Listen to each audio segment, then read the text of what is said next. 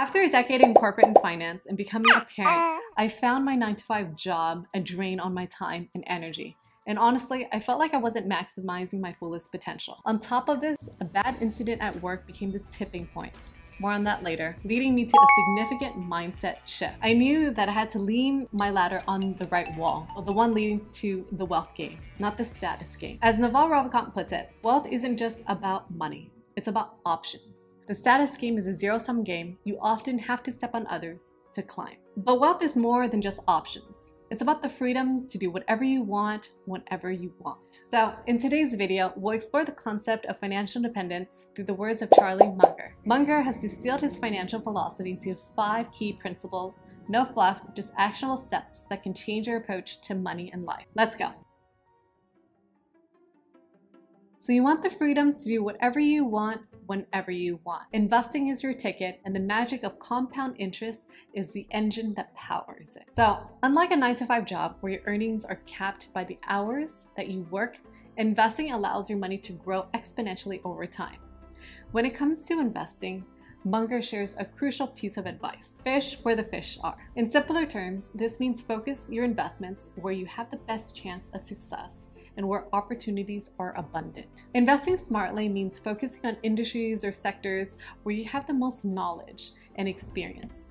So say you work in the tech sector and you're well versed in emerging technologies and trends. This positions you to make more informed investments in tech companies, allowing you to assess the business model, growth potential, and even spot opportunities that others might miss. Now, let's say if you're in the tech industry, but you've ventured into unfamiliar sectors like healthcare or consumer products, this can be akin to gambling, given the lack of expertise. So without a deep understanding of the market, market dynamics, and regulations, you're taking unnecessary risks. By concentrating your investments in areas you know well, you can identify undervalued companies with high growth potential. So play to your strength.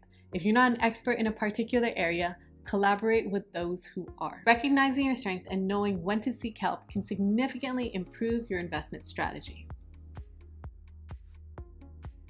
Munger has famously quoted, the first $100,000 is but you gotta do it. It's tough, but crucial for building wealth. He argues that this is a foundation step towards becoming a millionaire. So how do you get there? There are a number of ways that you can get there. One, you save, Two, you invest. So you can start with automatic transfers to a high yield savings account, but don't just stop at saving. Consider investing in low cost index funds. You can invest in funds like the Vanguard 500 Index Fund, the Schwab S&P 500 Index, or Fidelity 500 Index Fund. And you might be asking why index funds? According to SPIVA, a part of the S&P Global, only 29% of actively managed funds beat the S&P 500 in 2019, and that number dropped to just 9% in 2021. Index funds usually match the market and cost less in fees, making them a smarter choice for long-term financial gains. Now, starting early is a bonus. The sooner you start, the more you benefit from compound interest, boosting your chances of hitting that million dollar mark by retirement. To optimize for this, set specific saving goals and budget wisely. Now, if your current income isn't cutting it for savings, it's time to get creative. A side hustle can be the ticket to reaching that $100,000 milestone. Simply put, if you're not earning enough to save, you need to find ways to make more money. If you have high interest debts, this should be your first enemy to conquer. There's no point in saving if your debt is growing faster than your savings rate. So for more actionable tips on saving your first 100,000, you can check out my video over here. Now let's delve into equity, your ownership stake in an asset, which could be a business, real estate, or other forms of investment. Owning equity is essentially buying a ticket to the asset's future success. His advice on equity is both simple and profound.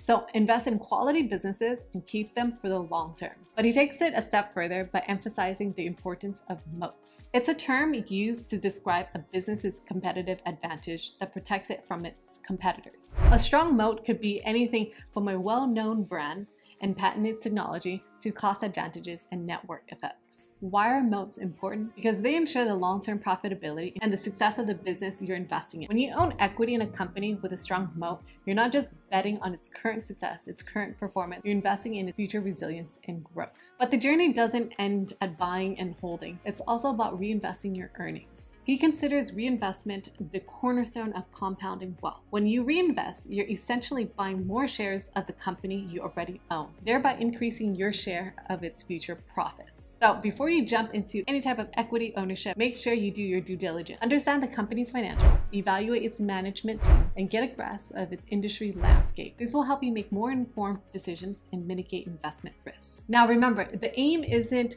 to time the market for quick gains, it's to invest in businesses with strong moats that promise long-term success.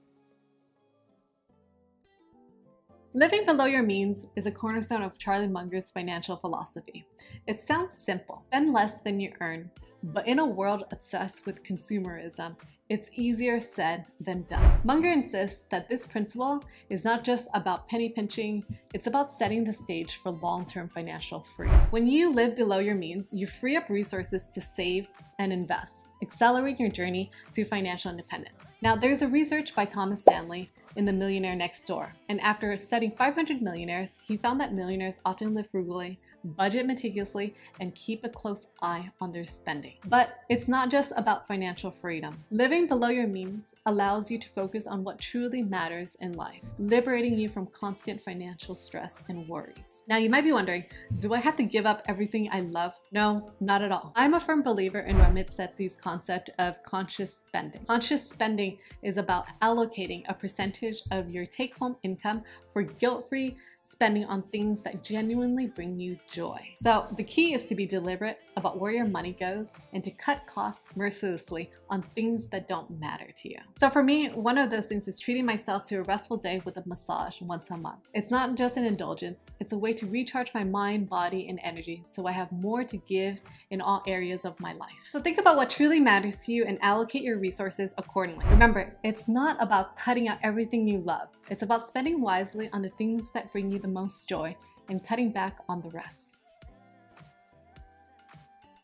Lifelong learning is key to achieving financial security and freedom. The curious mind is an investor's greatest asset. And interestingly enough, statistics show that millionaires read an average of over 24 books per year, highlighting the critical role of continuous learning. But it's not just about accumulating knowledge, it's about applying it. I spent eight years in college and graduate school, and while formal education is valuable, it's crucial to ensure that that knowledge that you've gained is both relevant and actionable. So focus on applying what you learn, not just on theory. Those are the five timeless principles by Charlie Munger. If you're interested, you might want to check out my other video here on how the average millionaire has seven streams of income. But before you go, it would really make my day if you like, comment, and subscribe. Thanks so much, and I'll see you in the next one.